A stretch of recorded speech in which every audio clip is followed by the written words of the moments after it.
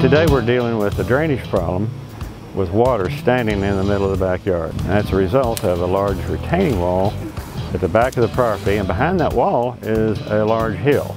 So all this water is running underneath the wall into the yard and creating a big mess. First thing we do is we hand dig below the beam of this wall. That's where the water is entering.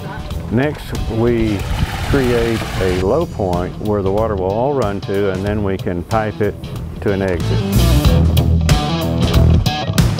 The perforated pipe is encased in a filter cloth sock and this prevents sediments from coming into the pipe.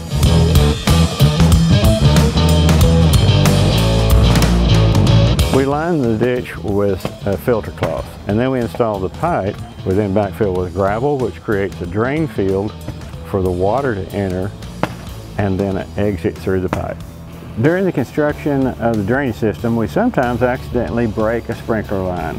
But don't worry, we're a sprinkler company. We repair everything that is broken. That exit line that we create from the wall will be used also to pick up the roof water through gutter downspouts and the groundwater through catch basins. And we all exit that at the street where we drill a hole through the concrete curb.